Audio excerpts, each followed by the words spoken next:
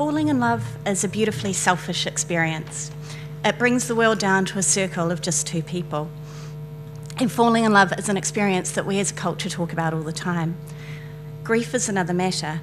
Grief is hard, personal, and difficult to approach.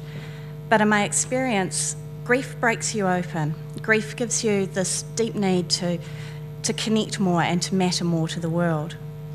And over the past two years, Paula and I have both lost someone very close to us. And I don't say this to play the pity card, but it's, we've both found that this experience has significantly changed how we approach our work, and that's what we want to share today. This presentation grew out of a series of conversations that Paula and I have had over the past year about grief and connection, about museums and memory, about what we are here to do, about what we can do for people when they are in a time of need. And we have developed these presentations separately because they tell our own stories. Um, and now I'm going to try to tie them together for you. So, Paula sends her apologies for not being able to be here. She's a long-time NDF presenter and supporter, and I really miss having her here. Um, she's, however, really happy to be able to contribute, and I think happy and quite nervous about sharing such a personal journey. So, this is where Paula works. And that's what Paula does. And this is what Paula is asking. What does this idea of a caring museum mean? Do we care about other sectors such as health in relation to our collections and sharing memories? And if so, what does this look like? What programs do we have to support those who are underprivileged or suffering ill health? What if we stopped for a minute to reflect on how far our collections and stories could potentially change or help people in ways we haven't already thought of? What if we could all think outside the box a little to realise the potential of how collections can help those less fortunate, in need, sick, or dying? How can our sector reach different audiences in new ways, ways that we haven't thought of before? How can we take collection stories to people who really need our help? If only to spark a conversation, a memory, to even just pass the time in a hospital bed. How could we do this, and what would the benefits be to the people involved? and back into our collections. As museum professionals, we all get to experience wonderful stories in our collections, but some areas of the community have no idea we have them or don't know how to get to these stories and how valuable they can be to people who are spending a lot of time caring for people in hospitals.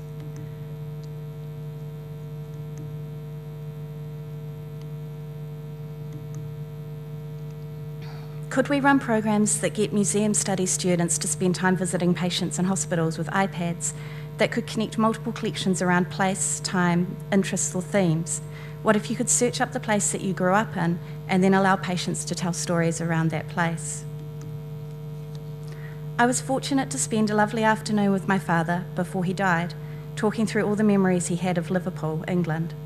This experience has made me reflect on museum collections, memories, sharing stories, and access to collections for those who don't normally know about them. We did this through Historypin. We spent the whole afternoon searching the map for content in, the, in Liverpool.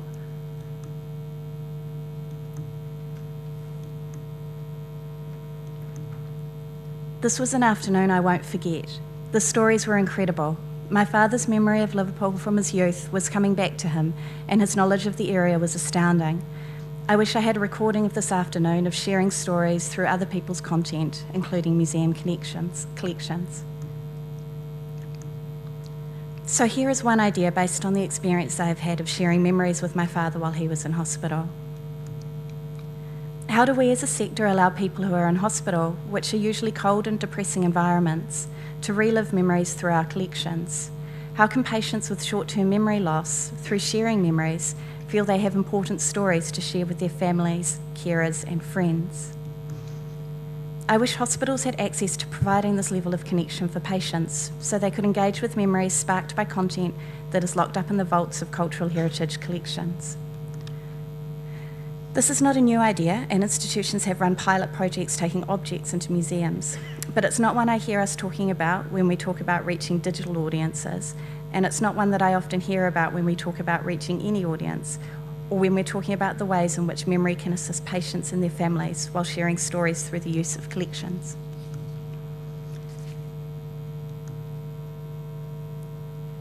As we make our collections more accessible online, then perhaps we will see hospitals start programs themselves. But maybe we need to give a helping hand in running particular programs through our sector. Collections are really for everyone, and we need to think of ways that they can benefit others who are less fortunate. And Paula says, thank you. So, me. Um, I'm going to try to take kind of what Paula's said and then wrap it into a bigger context, but also do that through a couple of stories of my own. So, exactly a year ago, I stood up here and I made this impassioned plea for a museum of emotion. And this is what I said I wonder if we've become a little timid.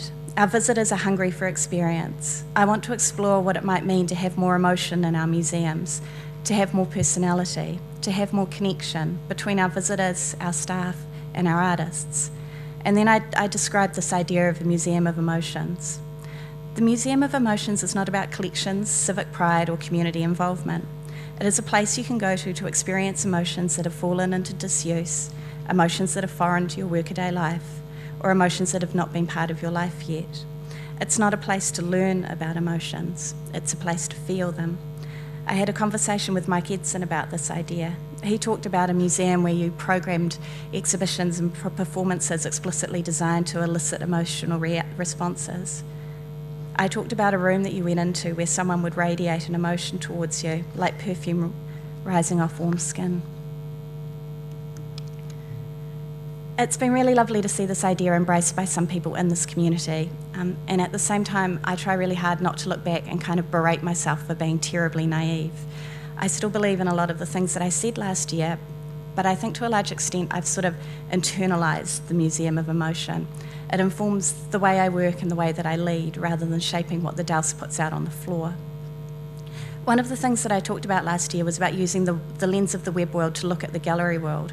And what Paula and I have talked about throughout the year and what we're presenting here today is a different lens, a different way of organising and understanding our work. Rather than making emotional experiences at work, I generally find myself having them. Um, and I want to give you two that have changed the way that I view what I do. So, on my birthday this year, I took some baking down to Yagara, who is the incredible woman who looks after our Petone Settlers Museum, um, all by herself down on the waterfront. And Yagara asked me if we could share the baking with the man with the bicycle. And she explained that every Thursday, a man on a bicycle comes to visit PSM, and he is shabbily dressed, and he doesn't smell very good, and he doesn't communicate very well. And he likes to look at the videos and the exhibitions, and when he leaves, Yagara always gives him some of her lunch. And so I went into the gallery and I gave him the brownie, and Yagara told him that yes, the cake was for him, but he had to wait to leave the building until he could eat it because you can't leave crumbs in the gallery. And then I went back to work, and that night I got this long email from Yagara. Thank you for giving the chocolate cake to Chimney Man. I call him like that because he reminds me of back home. We used to have an annual chimney cleaning, and it was a saying that the chimney man brings luck. And when you see him, you have to touch and hold on to any buttons on your clothing and make a wish. Yes, the chimney man ate cake in the East Gallery. Maybe he couldn't resist, or he was so hungry, and he crumbed on the carpet. On the way out, he told me, See you next Thursday, eh? Goodness me. On Friday, Cynthia visited, and I mentioned her PSM's Thursday regular visitor. Before I finished describing him, she told me she was familiar with him. He is a solvent abuser, she said. She saw him in the past sniffing a glue. Uh, English isn't Yagara's first language, but I'm just going to give you her, her email straight. That explains why I couldn't solve the mystery of the unusual smell in the air both galleries had after he left museum. For me, it smelt of gas, solvent, not exactly sure. I am feeling for Man with the Bicycle because he is badly damaging his health. I'm imagining him having a makeover, like we can see on some TV shows, having a bath, a haircut, as well as wearing some decent clothes and shoes, and still riding a bike. Except for the He Waka, Waka Hono Tangata video he likes to watch in the East Gallery, I realised every time he comes, he expects to get some food from me. I have to think what is clever to do, to continue giving him food or stop. What do you think, Courtney? Anyway, despite his unusual behaviour, I think he is harmless. And so I found myself asking that day is it our job to feed homeless people? And it's not a question that I ever thought I would have to deal with in this job. So earlier this year, my division of Hutt City Council, which encompasses libraries and recreation and museums as well as community development, had a meeting with some external stakeholders to help inform our strategic vision. And at the meeting, Anne and Josh spoke. And Josh is a social worker out in the Hutt, and Anne is this amazing woman who, with her husband, fosters local kids. And Josh and Anne are working through their church and outside of the official systems to help make life better for a group of local teenagers. And when I say make it better, that means everything from buying them toothpaste through to helping a girl get out of a home where every time her parents host the, um, the weekly drinking event, uh, their friends rape her. And in this meeting, we were asking Josh and Anne what we could do to help them and to help these kids. And they basically said, just do a good job of what you're doing. You're a council. You can't love these kids, and that's what they need. That's what we do. And after the meeting, I walked out with them and I talked to them in the street for a while. And I said that after listening to them, I felt that really the only worthwhile thing I could do was quit my job and retrain and learn to do something that was actually useful. And they told me not to be silly, and they said that having people inside organisations who are aware and care is important as well. And I drove home that night in, in tears, like those big, messy, ugly ones, not the pretty ones, just horrible golfing, bad on the motorway tears. Um, so later on, I, I, had a meeting with Josh and Anne and Jen, my education manager at the Dowse. And Jane's kids had been to the Dowse on school trips and they'd done school holiday programs, and she felt really at home there. But I don't think Josh had ever been in the building before.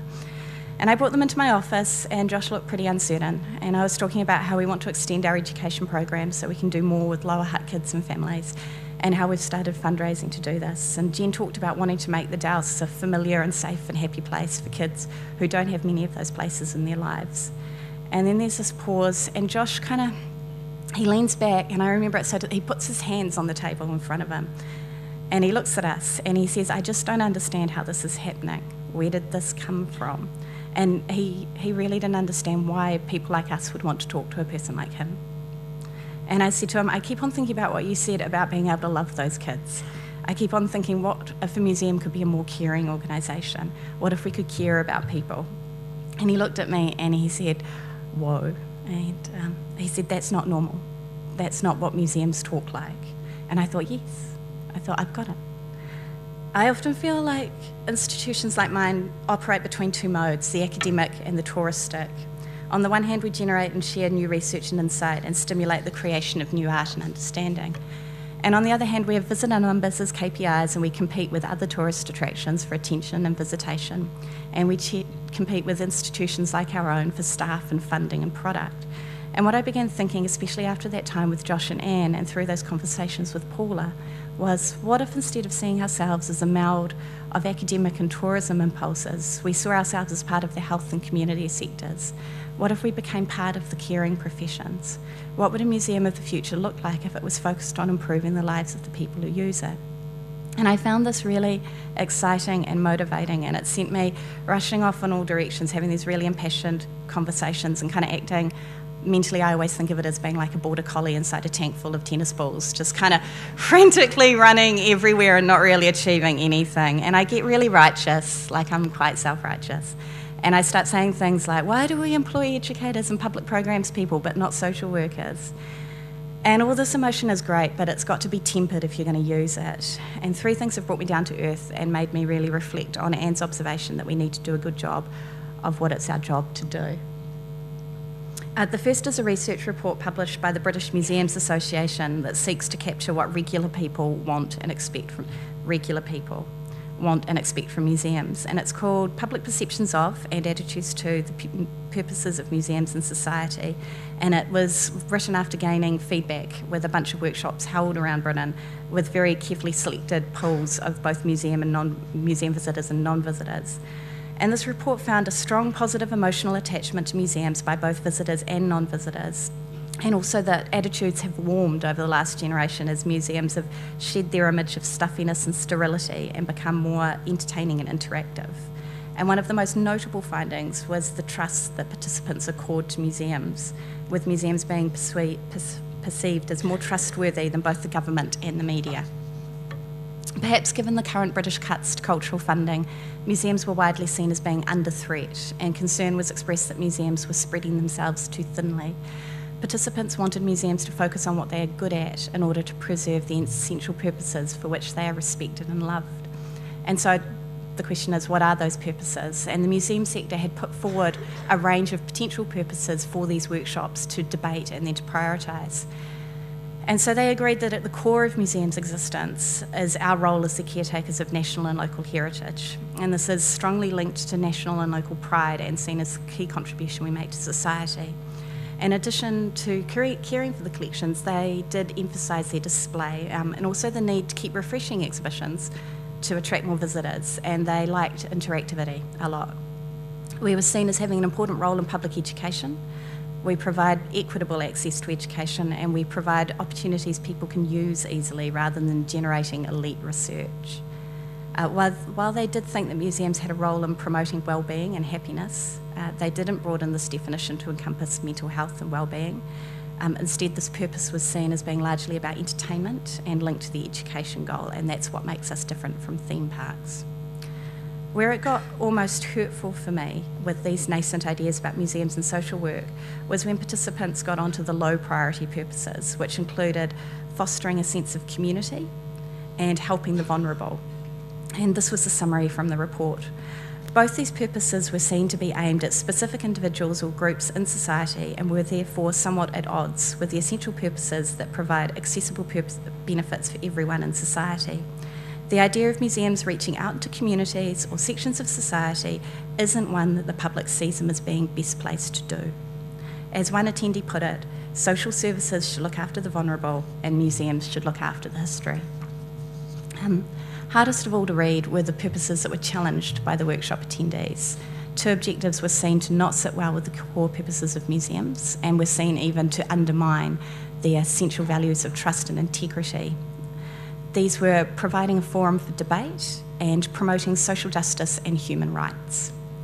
Uh, this is where the, the report observes participants consistently agreed that museums were not appropriate environments in which to hold controversial debates Rather, museums are regarded as places to go to to find out factual and unbiased information and for people to subsequently make up their own minds. This is not to say that people felt museums cannot broach controversial topics, but that they should remain neutral in the displaying of information rather than act as a leader in telling people what to think. And I was initially deeply thrown by this finding, and we're gathered here today in a building that was originally made to help a society talk about a deeply divided past. But for the participants in this particular exercise, attempts to tell people what they should think threaten the perception of the privileged and trusted position that museums hold. And as the report noted, although museum professionals might question the notion of an objective truth that can be expressed through an exhibition, the public, as represented by the sample, does not. I, I, was, I was really dashed by that report. It kind of broke my heart a little bit. Um, all the things that we've all been talking about for years, all the things that the staff in our institutions hold so dear, um, are clearly not communicating themselves well, or there's just a mismatch in expectations. Um, I felt like I had all these great ideas and that no one wanted them. And as per usual, Nina Simon is about five years ahead of me on this topic. And in April, she wrote a blog post called um, Seeking Clarity about the Complementary Nature of Social Work and the Arts. And in it, she unpicks what we're talking about when we talk about cultural institutions as vehicles of social and civic change. The post grew out of a conversation she'd had with two of her friends who work in not for profits focused on issues of homelessness and criminal justice. And while all three work in organisations that care about making a difference in the community, when you move from the why to the what, museums and social service organisations are emphatically not the same thing. And she writes, their work involves life or death situations. Museum work is mostly non contact. The consequences of risk taking and experimentation are incredibly different. There is infinite demand for their services, whereas we struggle to do, generate demand for ours. There will never be enough meals for hungry people or mental health facilities for those who need them. Meanwhile, arts industry leaders worry about oversupply of organisations in the face of dwindling demand. Social service providers often find themselves working in a reactive stance to unexpected incidents. Arts organisations can operate on their own timelines and internal values. Those that want to be more relevant often have to push themselves to work responsively to events outside their domain.